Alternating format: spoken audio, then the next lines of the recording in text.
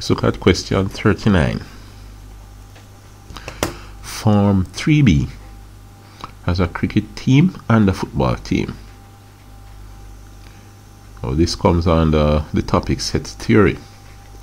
There are six boys on both teams and four who are on neither team.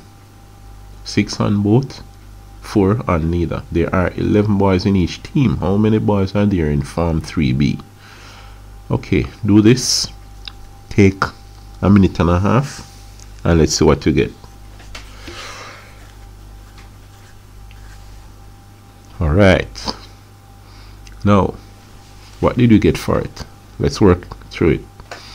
You have form 3 form 3b a cricket and a football team.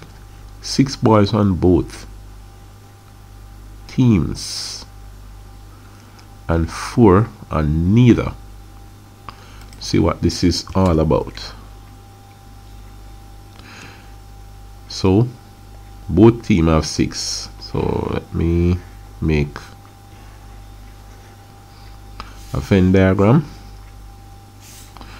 And you have six of them here.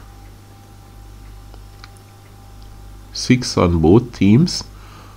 Four on neither so if I should draw my universal set I have four outside here.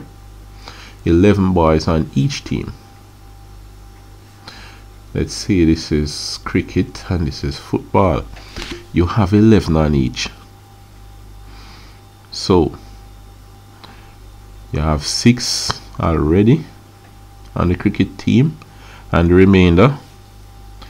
That's 6 7 8 9 10 11 that's 5 remain. Then you already have this is 11 on each. So the football team have 11 too you already have the 6 that are also on the cricket team. And you have 6 7 8 9 10 11 that's 5 more. So 5 play cricket alone. 6 play both cricket and football. Five play football alone. Four play neither cricket nor football. Let's see what this comes up to. 5 and 6, 11. 11 and 5, that's 16. 16 plus 4, so that's 5 plus 6 plus 5 plus 4. That gives you a total of 20. So 20 is our answer. The answer for question 39 is 20.